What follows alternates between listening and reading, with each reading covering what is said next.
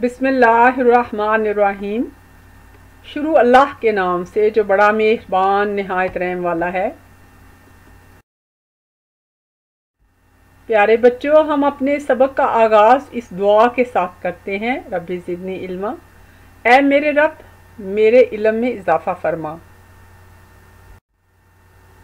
आज हम उर्दू नज़म करेंगे, जिसका उनवान है मेहनत।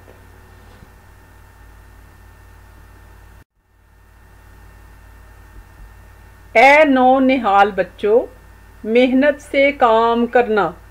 नौ निहाल छोटे बच्चों को कहते हैं।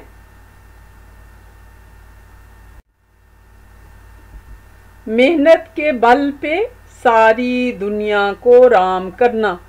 राम करना का मानी होता है फतह करना। मेहनत से चल रहे हैं दुनिया के कारखाने। दुनिया में जो भी कारखाने काम हो रहे हैं, वो सारे मेहनत के बल पे चल रहे हैं। ये सारी चीज़ें इंसानों ने अपनी मेहनत और कोशिश से बनाई हैं।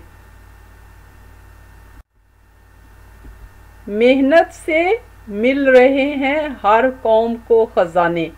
जो कौम मेहनत करती है, वो ख़जाने हासिल कर लेती है। सब दस्तकारियों में डाली है जान इसने। दस्तकारी कहते हैं हाथ से काम करने को।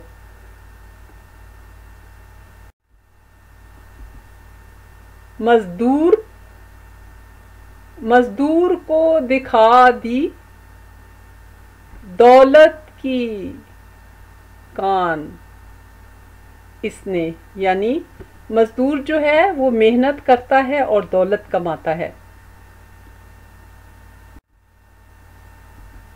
मेहनत करेगा जो भी दौलत उसे मिलेगी। जो भी मेहनत करेगा, वो दौलत कमाएगा।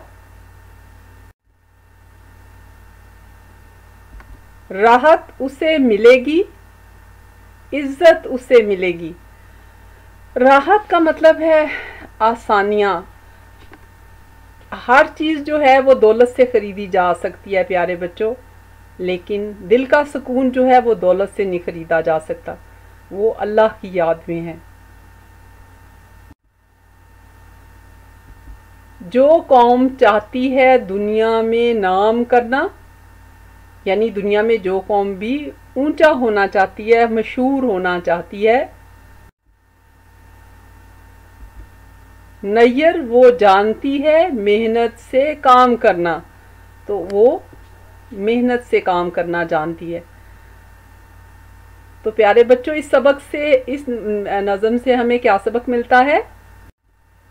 आपने देखा है कि चूंटियाँ जो हैं, वो हर वक्त काम में मसरूफ़ रहती हैं और अक्सर वो अपने से बड़े जो चीज़ें होती हैं, उनको उठा के चल रही होती हैं।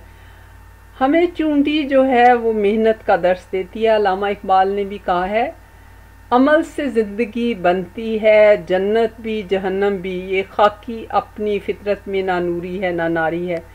अल्लाह ताला ने भी हमें, हमारा दीन भी हमें ये कहता है कि दुनिया में जो जितना मेहनत करेगा, मैं दुनिया उसको उतनी दूँगा।